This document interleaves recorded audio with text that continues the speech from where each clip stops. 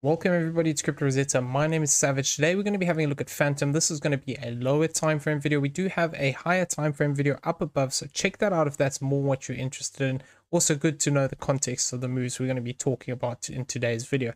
Okay, so let's get into the charts to see what's going on.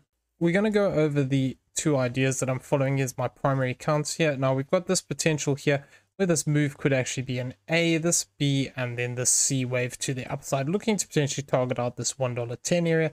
Now, this is still valid for as long as we hold this low here of this 1642. We need to be aware there are other alternatives where we could actually be looking to break to the downside here, so we just need to be aware of those.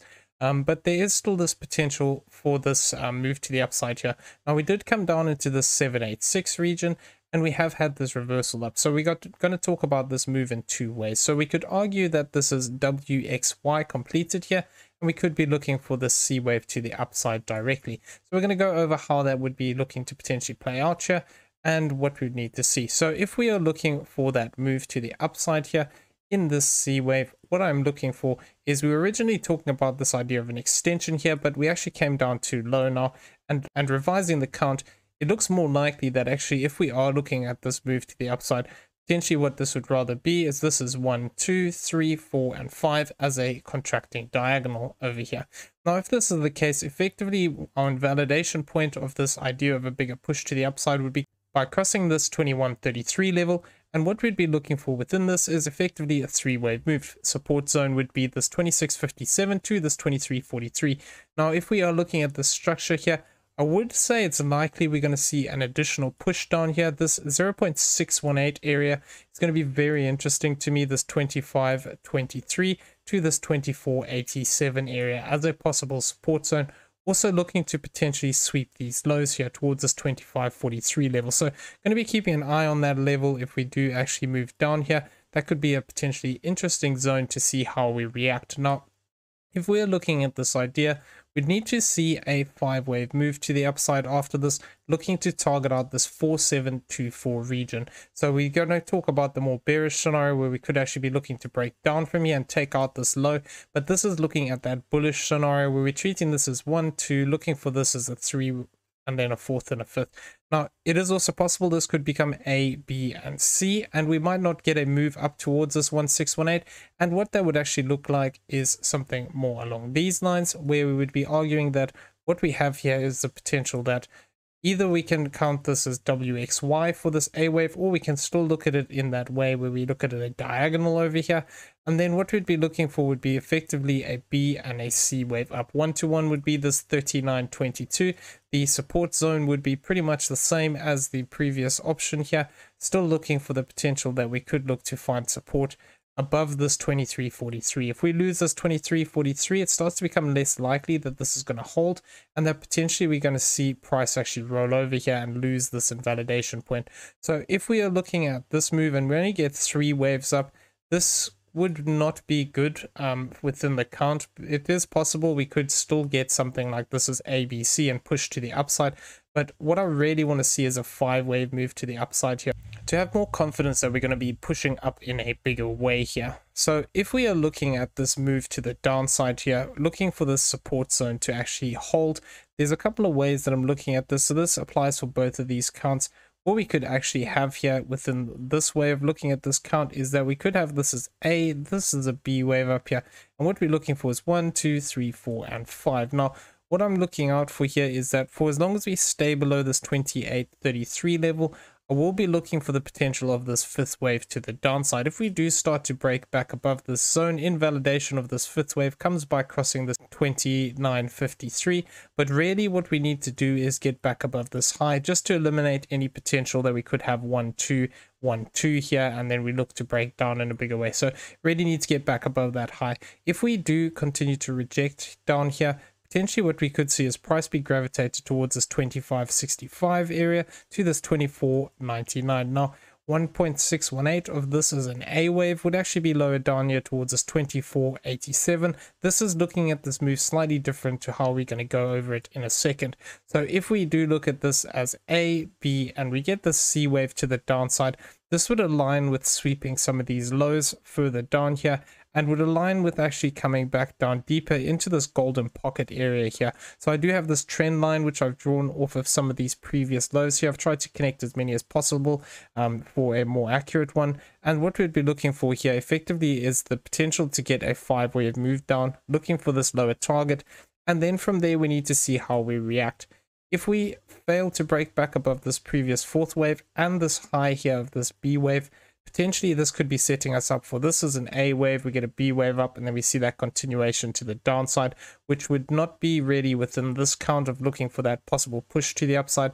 And invalidation of that impulsive count would actually be looking to cross this 2133. So we need to stay above that to keep that alive. Now, it is also possible if I come back out here onto the four hourly that what we could argue is that within this count over here, we have this as an A wave, this is a B wave, and then we're looking at this as one, two, three, four, and five. Now, this fourth wave is only two times the length of this wave two, so this is perfectly acceptable at the moment.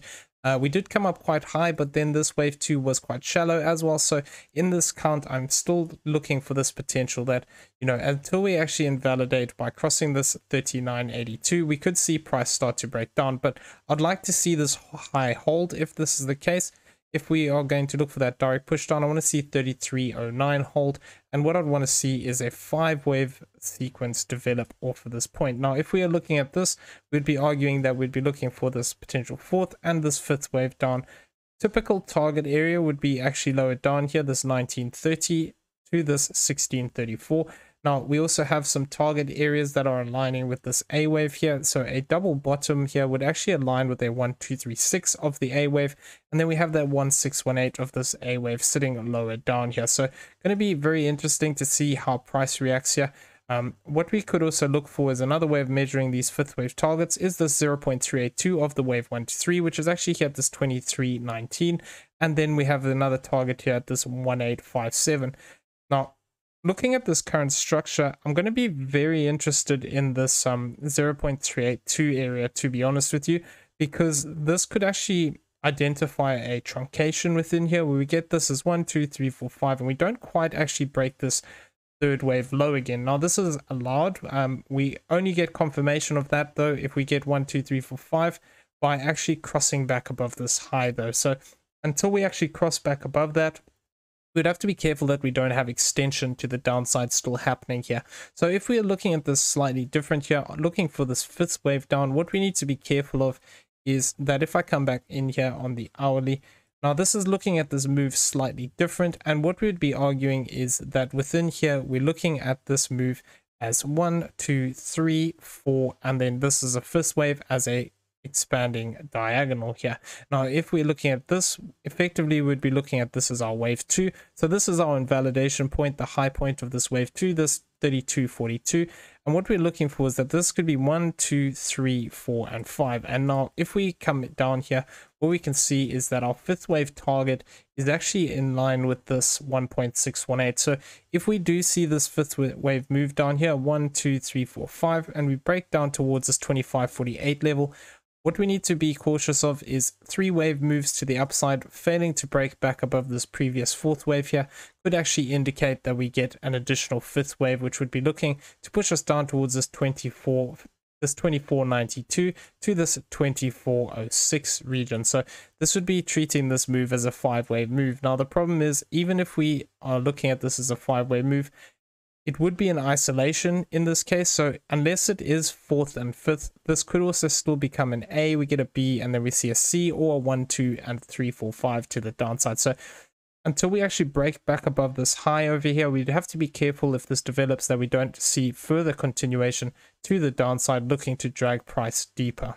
If I just overlay this though, what we can see is that 0.382 is only a little bit past this target zone here and would actually align with coming back into some of these lows over here. So I would be keeping an eye on this, but like I said, you know, potentially this could still be just wave one of five if it's going to extend out. Um, it would be a very big wave one, which would mean that we're probably going to break down even deeper. So we'd have to be careful. But uh, I'm just keeping an eye on this 2319 as a potential point that we could actually get a truncation here if this is going to look to reverse to the upside here. So those bullish counts are still potential. There's still potential for these bullish counts, but like I said, you know, we need to hold this um, 2343 as our support zone here. And what we don't want to see is a five wave move to the downside off these highs. Because if we do get that, then this is going to make this idea of continuation up very unlikely. At least within this impulse, we could still get this as a A wave. We get a five wave move down and three wave move up, five wave move down, something like this for an A, a B, and we get something like a flat correction here but uh, it wouldn't mean that would mean that we're potentially going to see that continuation down still. So really what we want to do for the bullish count is hold this level and hold this low, look to progress up here towards the zone of this 4724. Otherwise we have more potential here, I think, for that downside. Um, but yeah, we are in this support zone, so we'll have to see how they actually hold. Having a look at the daily CPR, what we can see here is that we are actually currently above these central CPR lines here, and we did come up and retest this S2. So now the fact that we moved up here, we need to be cautious. If we fail to hold these lines, this could potentially indicate that we're going to see price actually be gravitated back down towards this R1 line, which is this 2612. We have this R2 at this 2547, and other targets down here is this 2488 and this 2422 level. So this would align with potentially having a fifth wave down. If we see this play out, we could see some of these lower targets get hit. And our price can always move through these, so we need to just be aware of that fact. Now, as well as that, if we do maintain above this central line here, potentially we could see price move to the upside. Upside targets for today are this 27.95, this 28.62, and this level here of this uh, 29.21 level as potential zones. So we could look for this move to actually push to the upside. Now, if we are looking at the weekly, what we can see here is that we actually came down to this R2 line already, and we are currently in between this R2 and this R1 line. So if we do move up, I would be cautious. This 2881 could offer us resistance if we see price move up there, as well as that if we do move to the downside for this week, we still have this R3 line open towards this 24440. Now, if we do see price come down here, our initial target for this fifth is actually looking for this. But if we do see then an additional fourth and a fifth here, potentially we could see price move down towards this 2440 area as a possible target. Now, we obviously don't have very long left in the week. If we do look to move back to the upside, I would be interested to see how we react around this 30 3099 to this 3034. Potentially we could look to actually face resistance on these levels and if we did see some kind of an almighty move up here which i'm not thinking is likely but this s1 at this 3318 this s2 at this 20, 3502 and this 3756 are possible target areas if we do start to break back above these cpr lines here. Now looking at the monthly pivots which will be targets for the rest of this month we can see that we're actually currently starting to break down underneath these central lines.